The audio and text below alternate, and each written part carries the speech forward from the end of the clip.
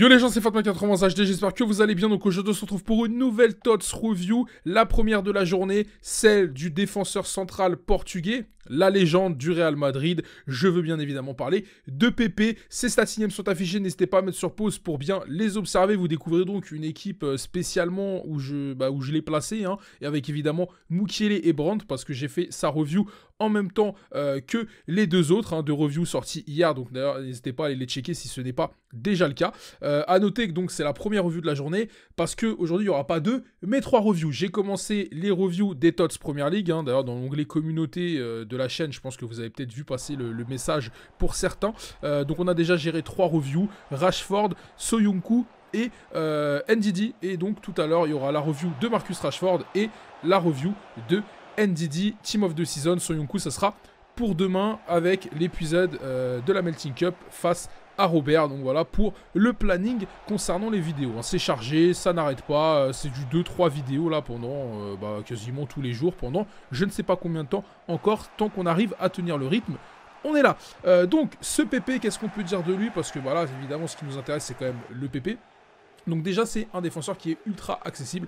30 000 crédits sur Xbox One, 35 000 crédits sur PlayStation 4 et 43 000 crédits sur PC. Donc c'est un joueur qui est vraiment à la portée de tout le monde, je pense. J'espère hein, quand même que tout le monde est capable actuellement de poser euh, sur ce joueur-là.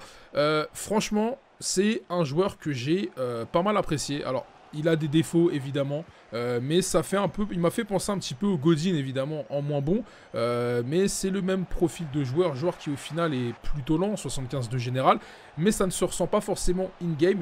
Et c'est un joueur qui est vraiment très très costaud, très solide et euh, bah, ça fait toujours plaisir de jouer avec Pépé parce que c'est peut-être c'est peut-être l'un des derniers FIFA avec lequel on va pouvoir vraiment jouer avec un Pépé euh, plutôt compétitif hein, parce que bah, évidemment euh, il prend de l'âge. Mais franchement ça a été ça a été vraiment plaisant de faire cette review du Pépé Tots. Donc c'est ses points positifs parce qu'en vrai les points négatifs réellement il n'y en a pas tant que ça, hein. il n'y en a même pas, je pense, parce qu'en vrai, ouais, non, il n'y a, pas, a pas vraiment de points négatifs, euh, à part peut-être, ouais, s'il a, il a un pied gauche plutôt moyen, son pied gauche est plutôt moyen, autant je dis souvent que voilà, 3 étoiles mauvais pied pour tout ce qui est milieu récupérateur, défenseur central, à la relance, euh, c'est plutôt, plutôt tranquille, 3 étoiles mauvais pied.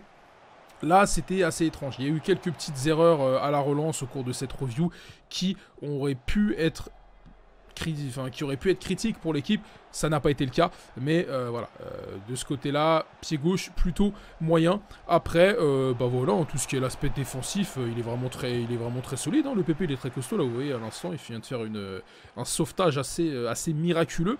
donc, physiquement, 88 en force, 98 d'agressivité. Forcément, quand tu penses à PP, tu penses à agressivité tout de suite. 87 en endurance. D'ailleurs, très intéressant pour un joueur de cet âge-là encore. Parce que généralement, c'est vrai que plus les joueurs vieillissent, plus dans FIFA, ils ont tendance à baisser les stats en endurance. Je sais pas, le régular, une stat de combien en endurance à la base.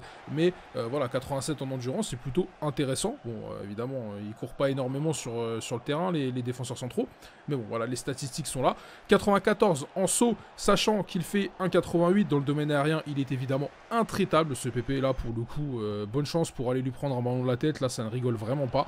Après, l'aspect défensif au niveau des statistiques, parce que bon, évidemment, le physique compte hein, dans la défense, parce que bah, tu as l'aspect euh, bah, détente qui permet de prendre les ballons à la tête, la force qui permet bah, à l'épaule de bouger ou non les attaquants adverses, euh, très costaud hein, 188 en force, tu le ressens très bien in-game, euh, il met des gros coups d'épaule dans les défenseurs, c'est juste jouissif.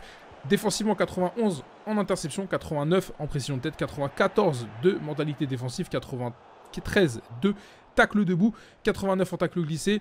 Euh, c'est le roi du tacle debout, hein. franchement, euh, le nombre de ballons que j'ai récupéré, de toute façon, je pense que depuis tout à l'heure, vous voyez, hein, ça défile sur la review, les, récupérations, ça y va. Hein. c'est en veux-tu, en voilà. Euh, il prend énormément de ballons. En plus de ça, je sais pas, il a un côté.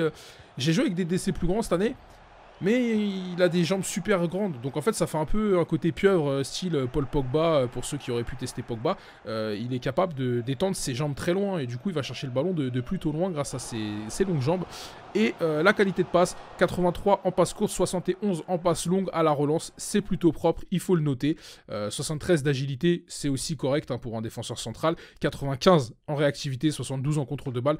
Et la vitesse, 75 de vitesse, 78 de vitesse, 71 en accélération.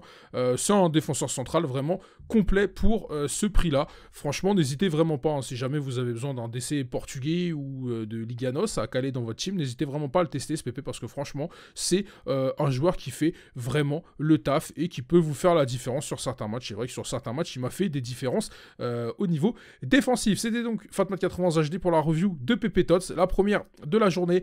On se retrouve aux alentours de 14h-15h pour la deuxième review. Ça va être Marcus Rashford Team of the Season. C'est tout simplement une boucherie. Donc euh, j'espère que vous serez présents pour cette review qui s'annonce vraiment folle. Je vous dis donc à la prochaine les gens. Pouce bleu, euh, commentaire, partage cette vidéo à ta famille à tout le monde. Je crois que je l'ai déjà dit, je crois que je me répète. C'était Fatma 80 HD. À tout à l'heure pour ceux qui seront là. Puis à la prochaine pour les autres. Prenez soin de vous. Ciao.